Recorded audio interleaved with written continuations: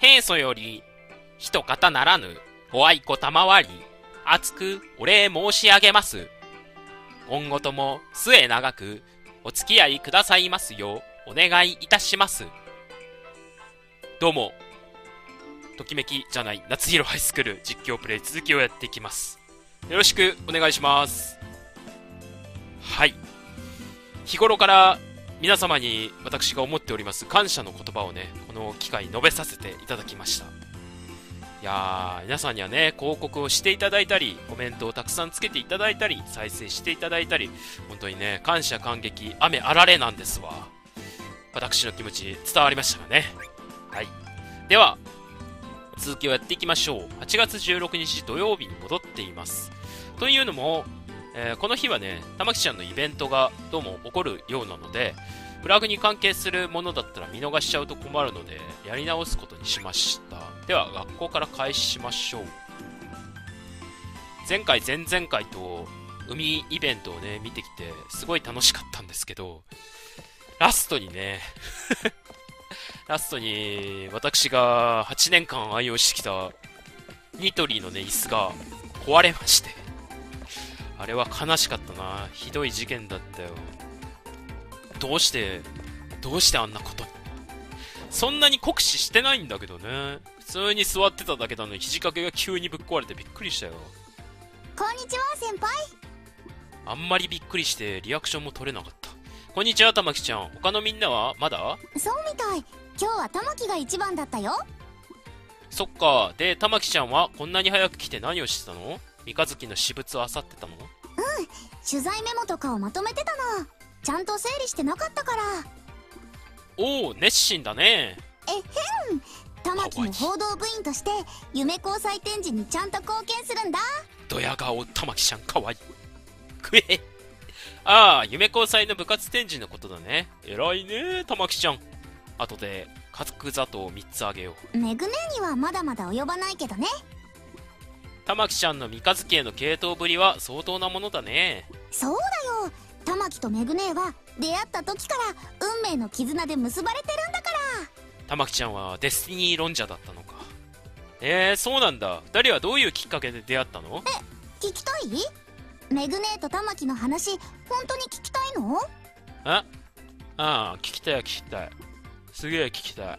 うんすごく興味あるよ。ぜひ聞かせてほしいなふーんそっか どうしよっかな うざかわいいなこの後輩は。そこをなんとか、やっぱりいいや。嫌なら無理にとは。どうしようかなこんなうざい顔されたら、素直にそこをなんとかとは言えないなちょっと、駆け引きしてみる？うん、嫌なら無理にとは言いませんか？嫌なら無理にとは言わないよ。大切な思い出だろうし、そう簡単に他人に話すようなことでもないだろうから。先輩はもう他人じゃないもん。だから話してもいいんだもん。アザーじゃなければ何だって言うんだい？え話してくれるの？それならそうと早く言ってよ。ちょっと意地悪してみただけ。聞いてくれる？先輩。もし素直に話してくれなかったらね玉木ちゃんにメグネーのパンツコレクションの23枚を握らせるとこだったよもちろんだよ。でどうやって出会ったの？玉木とメグネーが初めて出会ったのは夢高の入学式の日でした。そんなに昔からじゃないんだ。入学してから出会ったんだね。ふむふむ。おおなんか語り口調になってるぞ。夏服やん。入学式じゃないの？はあどうしよう。男ばっかりここからじゃ掲示板も見えないし自分のクラスがわからないよ。あっ！てめえこの野郎！人の嫁に。何？俺なんかした？絶対こいつケツ触ったよ、えー、通報しようぜ。何でもないです。警察に突き出されるか老人形にされるか選べ。やっぱり男なんて嫌いだ。ああかわいそうに。でもどうしよう。このままじゃ。おメグネね。え大丈夫？どうかしたの？あはい大丈夫です。それならいいけどもし困ってることがあったら何でも言ってね。遠慮しちゃダメだよ。同じ夢校の仲間なんだからさすがおせっかい焼きのメグネーワゴンだ。あはい。こうこうして救世主のように登場したメグネーはまさしくこの世に舞い降りた天使のようでした。そそこまで行っちゃいます？そこまで行っちゃいますか。なるほど。そのおせっかいぶりは三日月らしいね。おせっかいじゃないもん。玉木はすっごく救われたんだもん。でもまあメグネーは天使だよね。こんないい笑顔してるし。もしかして掲示板が見えないの？はい。そっか。こんなに人がたくさんいるもんね。勇気を出して人混みに突っ込んじゃうっていう手もあるんだけど。なんか歌でも歌いながら突っ込めばいいんじゃないかな。いいえそれはちょっと。ご飯粒がついているよと顔近づけ。だよね。どさくさに紛れて君唇奪った。そうだな。うん。代わりに私がクラスを確かめてこよっか。本当にメグネはいい子やな。そんなだって悪いです。そこまでしてもらうなんて。全然大したことないよそれくらい。だって気になるでしょ？高校生活最初のクラスがどこか気になるとかのレベルじゃないよね。知らなきゃクラス入れないもんな。うん。ああはい。じゃあそのよろしくお願いします。了解しました。お任せください。お姉ちゃんに任せなさい。おっと危ない危ない。あなたの名前教えてくれる？それがないと調べられないから。ね。わあメグネやり手やな。こうやって後輩の女の子から名前を聞き出すのか今度やってみよう。島袋玉木です。それが2人の出会いだったのです。その後もメグ姉は事あるごとに玉木を気にかけてくれて助けてくれたのです。なるほど。それで三日月と同じ報道部に入ったってこと？もうそんな一足飛びに結論言わないのアナッチはせっかち。そこに至るまでには数々のドラマがあったのです。そんなないんでしょ別に。知ってんだよ。まあいいや面白そうだからそのままにしとこう。入学してそろそろ1ヶ月経とうとしていた頃です。まだ部活を決められずに悩んでいた玉木にまたしてもメグ姉が優しく声をかけてくれたのです。なんかトランペットが欲しくてショーケースにへばりついてる子供にトランペットをポンと買ってくれる紳士みたいだなメグネ玉木ちゃんこんにちは。あ三日月先輩こんにちは。まだこの時は三日月先輩呼びなんだね。中庭に玉木ちゃんがいるのを見かけたから来ちゃった。来ちゃった。グヘヘ。どうかした？元気ないよ？うん。部活どこにしようか決められなくてそっか。それは大問題だね。高校生活を左右する重要な選択だからね。よし娯楽部にしよう。玉木ちゃんは何かやりたいことはないの？うパンツが取りたいです。ーん。特にっていうのはないんです。だから決められないんだと思います。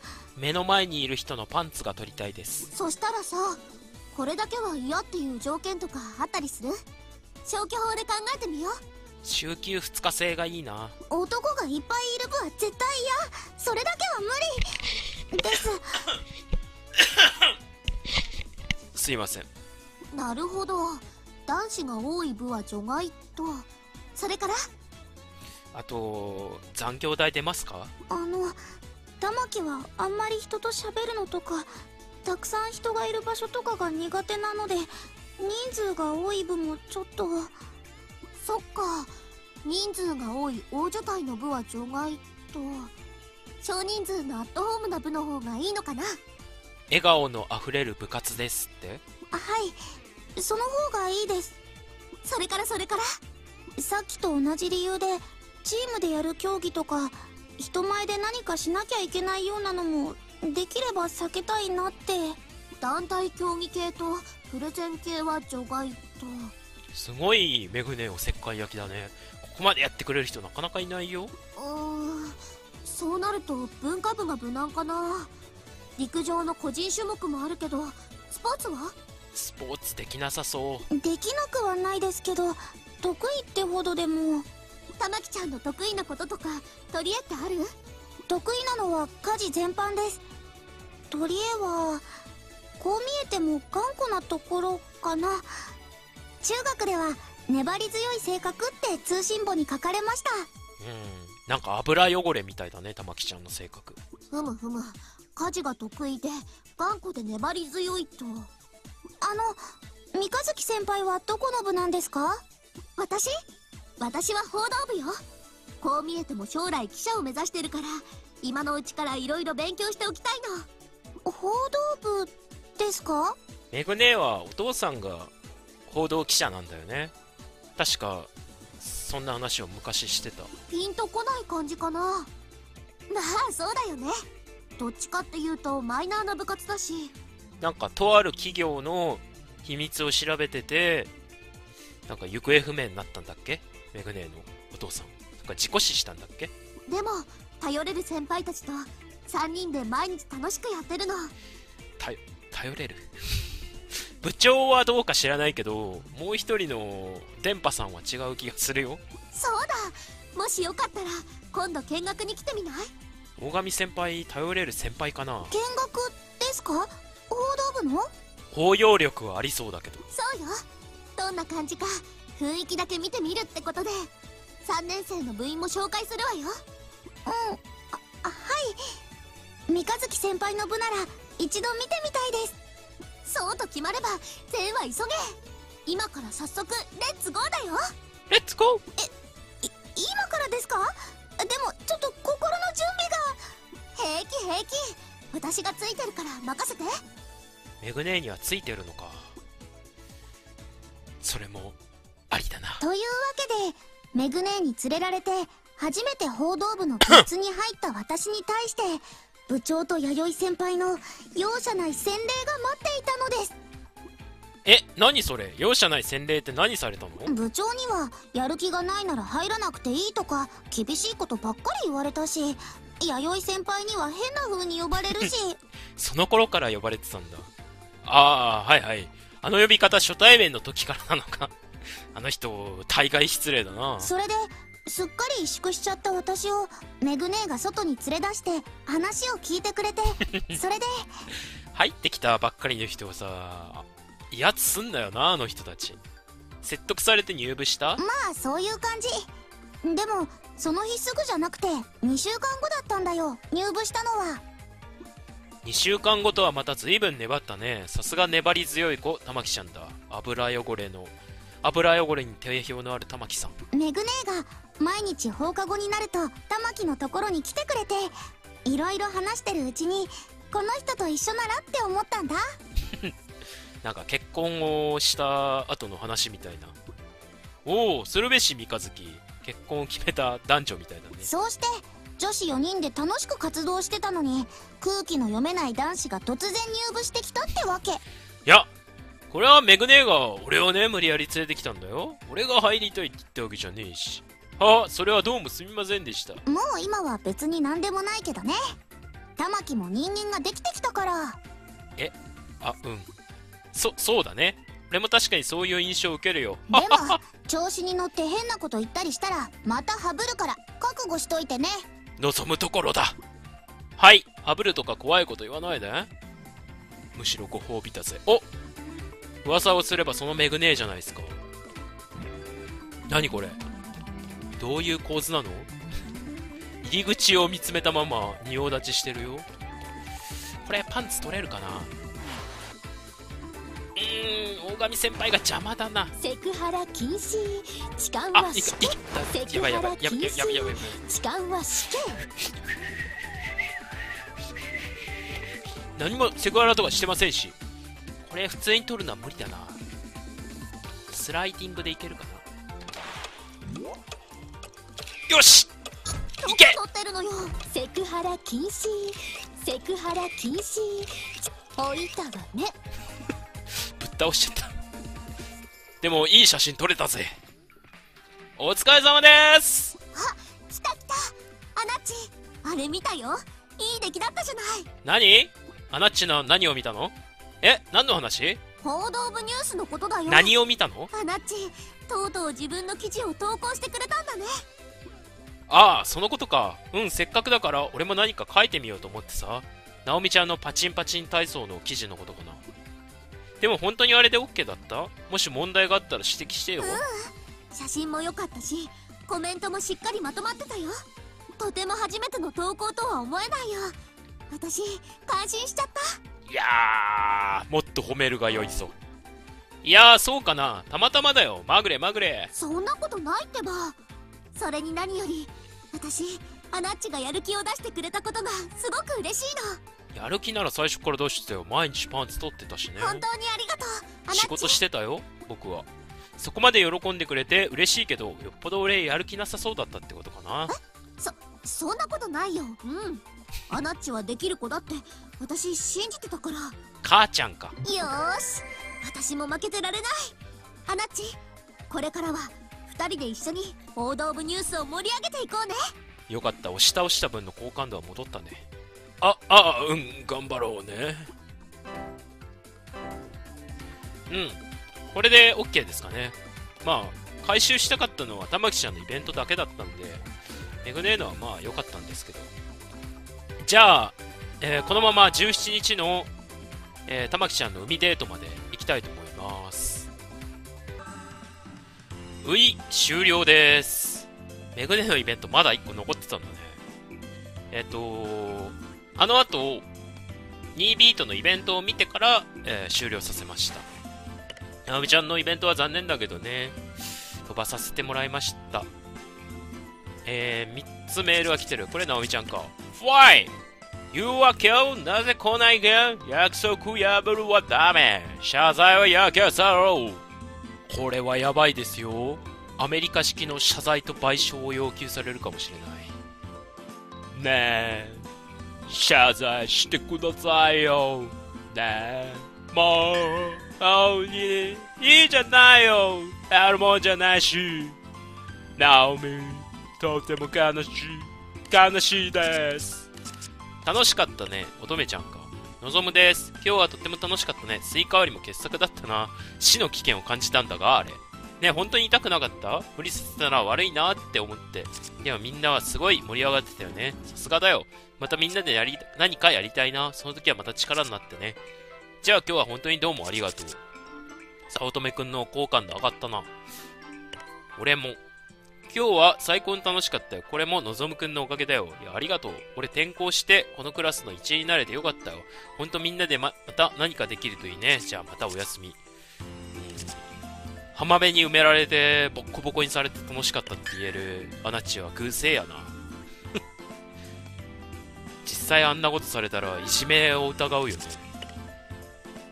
シゲか水木最高シゲだけど今日は楽しかったよなうちのクラスもあんだけ集まるんだからまんざら捨てたもんじゃねえよ俺はひかりちゃんがね来てくれたらほんとよかったんだけどまあ仕方ないね部活だったら望むのやつに感謝しなきゃな。で、誰の水木が一番良かった？俺はやっぱ西園寺かな。吉野や苗木も悪くなかった。紅丸さんの人妻感触れる色気も良かったし、兵道姉のローライズな水着も良かったしね。白井さんと燃えたそのユリップルも良かった。コーツつけがたいよね。引き分けということで、お願いします。うん。そうだね、夢交際なんかいいんじゃないかな。おやすみ望む。はい、じゃあ、待ちに待った、皆さんのね、待ちに待ちました、えー、玉袋さんのイベントを見ていきましょう。これあれか。さっき俺が押し倒した時のやつか。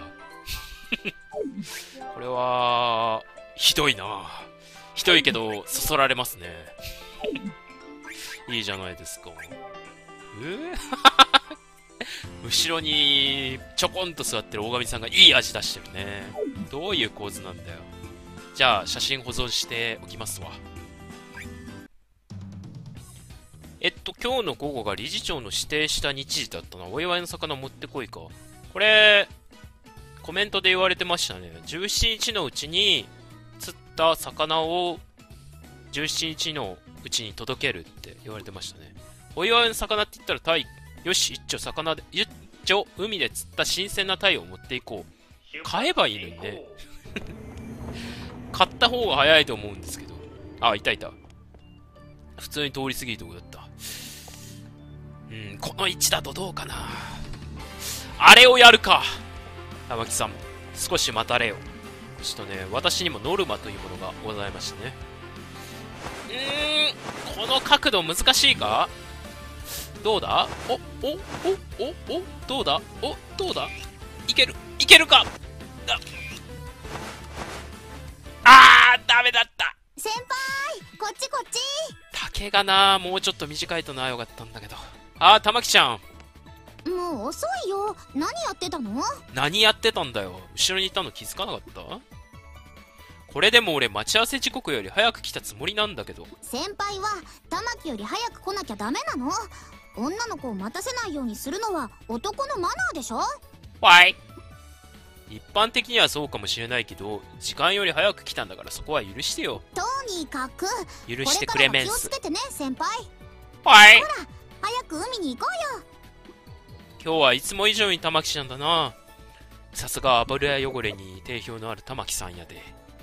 それじゃあ玉木は水着に着替えてくるから先輩はワクワクしながら待ってることぬめぬめしながら待ってるよ。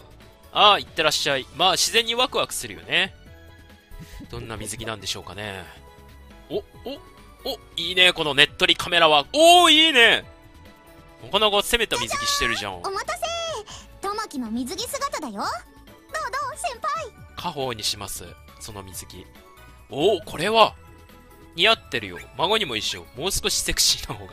これ以上セクシーにしたら紐になっちゃうよ。さすがにそれは品がないですよね。いやー、似合ってるんじゃないですか？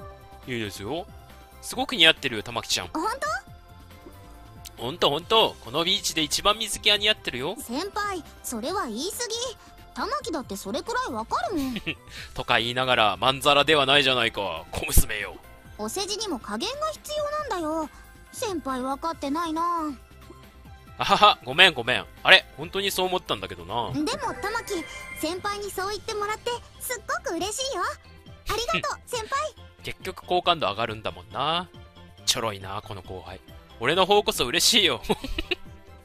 もう嬉しすぎてビンビンだよ。先輩いくら玉木が可愛いからって今日は下ネタ禁止だよこ、心だよ。ティティンコのことじゃないから。心の話だからね。心がビンビンなんだよ。は、はーい。もう、玉木ちゃんはエロいな。すぐそうやって下の話をするんだから。さあ、遊ぶぞ、玉木ちゃん。何して遊ぶ？まずは、浅瀬で水かけっこだ。行くぞ玉木行きま一万円。一万円をくれ。ないんですね。キャッキャウフフしてるやつ、一万円欲しかったな。玉木ちゃん、ちょっと休憩しよう。喉がカラカラだよ。えー、先輩だらしないな玉木はまだ全然平気だよ指先もチリチリするし、目の奥も熱いんです。玉木ちゃんがザブザブ海水かけるからだいぶ飲んじゃったよ。あ先輩ひどい玉木のせいにしたええ事実をありのまま言っただけなのに。と、とにかくさ。ああ、これか。コメントで言われてたんですけど、これ2回目の選択肢？この何か買ってきてよを選ぶと幸せになれるそうですね。じゃあ、そうだね。幸せになりてえから、この選択肢を選ぶよ。せめて何か買ってきてよ、玉木ちゃん。先輩玉木に使いっ走りさせる本当にごめん。もう喉がカラカラで。のじゃあ先輩に貸し一つね後で玉木のお願いも聞いてようん、わかった。何でも聞くから。わかったわかった。お願いします、玉木ちゃん。じゃあ買ってくるねラクエリアスでいいよねそこはポカリやろが。うん、お願い。そこでポカリ買ってこないと戦争になるぞ。先輩買ってきたよラクエリアスはいどうぞありがとう、玉木ちゃん。いやー、うまい。機械で入れたラクエリアスは最高ですね。ほらほら早く早くって何よ？先輩ってほんと鈍いな頑張った玉木にご褒美は？あ、ああ、ご褒美ね。うん、わかった。え、あ、幸せになれるってこういうことか。これは私にとってのご褒美ですよ。これ下、もうちょっと下いけないの？うん。えへへへへ。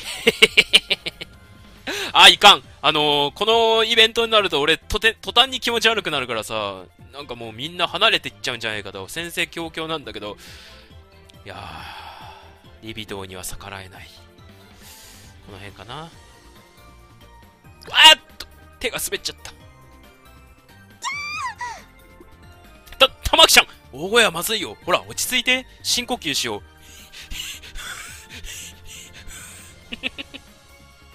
このヒーヒークーっていうのを聞くと、あれを思い出すな。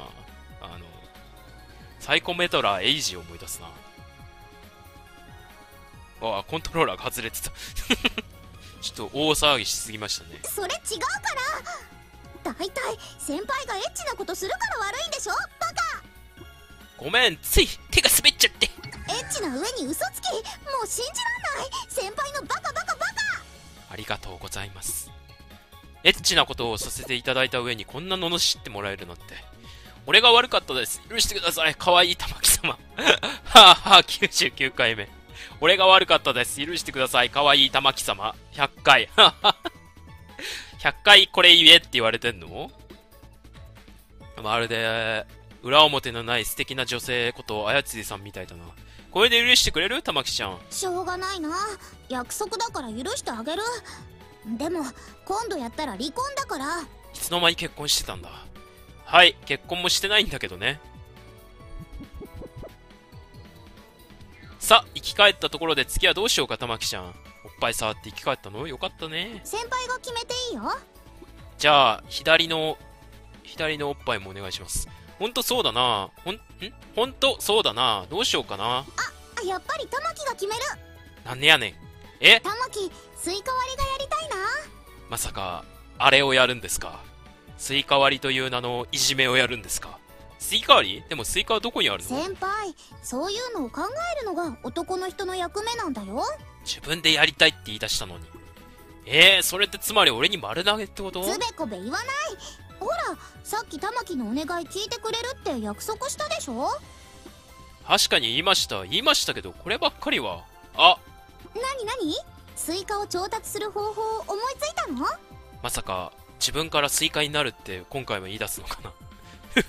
この俺の辞書に不可能という文字はない。先輩かっこいいその辞書、欠陥だよね。不可能という文字検索できないんでしょ やっぱり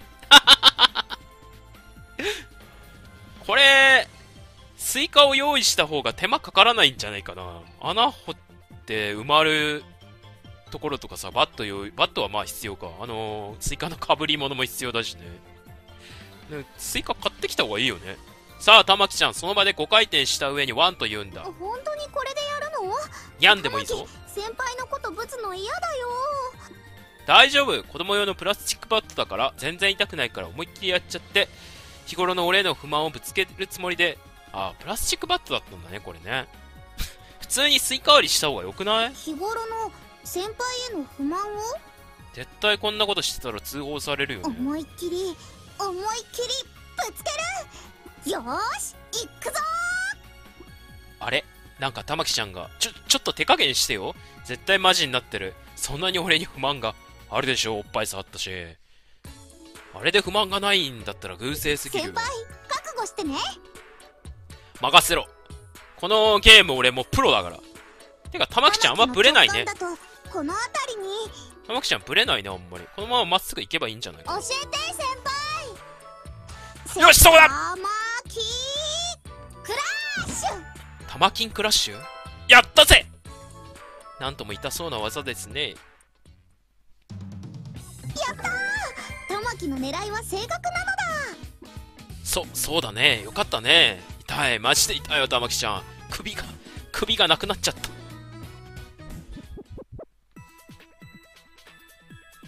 そろそろいい時間だね。帰る支度をしようか。はーい。玉木先輩のおかげで海を満喫できたよ。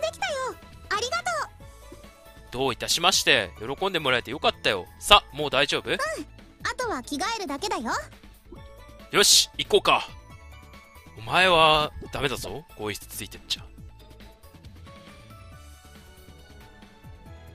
気をつけて帰るんだよ、玉木ちゃん。うんでも先輩も一緒が良かったなごめんね。後でメールするから。じゃあまたね先輩これは、完全に恋人ですわ。わあ、こんなにブンブン振っちゃった。バイバうん かわいい。そして俺気持ち悪い。何してんの、アナッチ。アナッチやめてよ。そんなところで。恥ずかしいでしょ？はい。では、えー今回はこれで終了したいと思います。完全にこれ髪型、シゲにしちゃうと、シゲと一緒だな。早く髪型変えよう。じゃあ、この後はね、あの、まだ時間あるんで、タイを釣って、えー理事長に届けたいと思います。ではまた次回よろしくお願いします。お疲れ様です。